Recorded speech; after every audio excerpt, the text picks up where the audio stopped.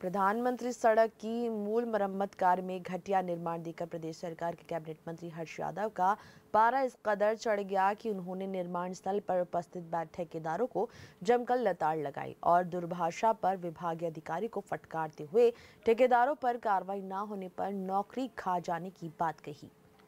वित्त की कमी से जूझ रही प्रदेश की कमलनाथ सरकार भले ही खर्चों में कटौती कर, धन के दुरुपयोग को लेकर सख्ती दिखा रही हो, परंतु निर्माण एजेंसियों के अधिकारी सरकार की इस मंशा से सरोकार नहीं रखते। भ्रष्टाचार को लेकर कटघरे में पहुँची पिछली सरकार से सबक लेकर वर्तमान सरकार भले ही फूक फूक कर कदम रख रही हो, परंतु विभागीय अधिकारियों के रवैये में कोई बदलाव नहीं दिख रहा है। विगत रविवार को भ्रमण के दौरान केसली विकासखंड के ग्राम शहजपुर पहुँचे कैबिनेट मंत्री हर्ष यादव ने। प्रधानमंत्री सड़क योजना की ग्राम शहजपुर से तेंदु डाबर सड़क मरम्मत कार्य का निरीक्षण किया।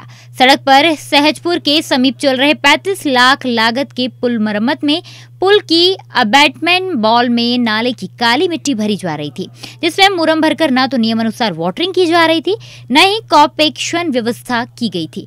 वहीं कार्यस्थल पर विभागीय यंत्री सहित अमला नदारत था, जिसे देखकर मंत्री यादव आग बबूला हो गए। इस संबंध में उन्होंने जब मौके पर उपस्थित पेटी ठेकेदार से पूछताछ की तो उसने गुमराह करने का प्रयास किया, जिससे नाराज़ मंत्री ने उसे जमकर लताड़ लगाई एवं पूछा कि निर्माण का एस्टीमेट एवं ड्राइंग कहा है? तुम्हें किसने ठेकेदार बना दिया?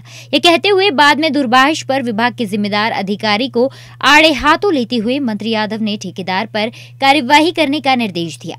और स्पष्ट शब्दों में कहा कि यदि इस घटिया निर्माण का पेमेंट किया गया तो तुम्हारी नौकरी खा जाऊँगा। मंत्री फटकार के बाद हरकत न्याय विभाग के सहायक प्रबंधक ए के मिश्रा ने कार्य का आनंद फानन में निरीक्षण किया एवं निर्माण में सुधार की बात कही है। बचाव की मुद्रा में दिखे अधिकारी ठेकेदार पर कार्यवाही से कतरा रहे हैं। दबंग न्यूज़ के लिए देवरी कला से मुबिन खान की रिपोर्ट।